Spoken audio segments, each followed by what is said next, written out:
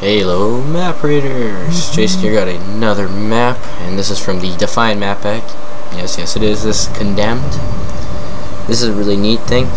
Um, it's a neat map. Uh, the backdrop is just fantastic. But basically, it's somewhat of a symmetrical map. It is a bit of a square.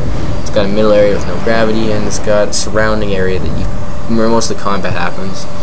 But there is a lot of low grav fights that go on and they're pretty neat it is definitely cool having the low grav stuff in the maps. And you go out into these kind of really open and then narrow hallway uh, fighting areas where most of the objectives are.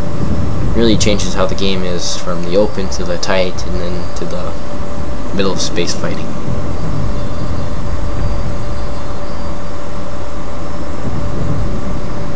And there's the outside, really neat. And of course, this is definitely one of the cool little areas of the map. It's open, it's got a holographic thing going on. It's just a really cool map to play on. Most of the Defiant maps are really good. And I give the map a 9.6 comment. Tell us your thoughts, of course. Send us in your maps.